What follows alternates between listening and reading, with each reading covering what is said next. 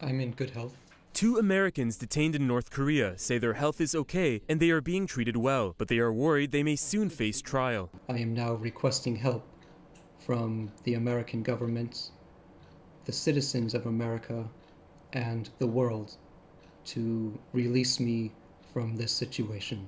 North Korean authorities allowed Matthew Todd Miller and Jeffrey Edward Fowle to meet a local Associated Press television news camera crew at an undisclosed location on Friday. The TV crew was permitted to ask questions, but it's not clear if the two Americans were speaking on their own initiative or if their comments were coerced. I apologize to the people, government of the United States, as well as to the people and government of the DPRK.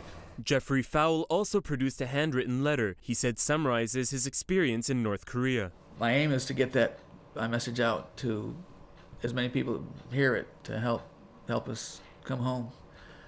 The Americans that are held here, so that if somebody's unable to come to uh, Pyongyang, then they can get a get a copy of that and understand a little bit of what's going on here.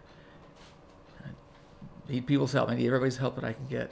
It's not known whether the letter was the Americans' idea or was written as a result of dialogue with the North Korean authorities. Fowle is suspected of leaving a Bible at a nightclub in the North Korean city of Chongjin. It's not known what specific crime Miller allegedly committed. North Korea's official news agency, KCNA, announced in April that Miller tore up his North Korean visa and shouted that he would seek asylum. Until now, North Korean authorities have not yet made public any details of any offense in connection with Fowle's detention.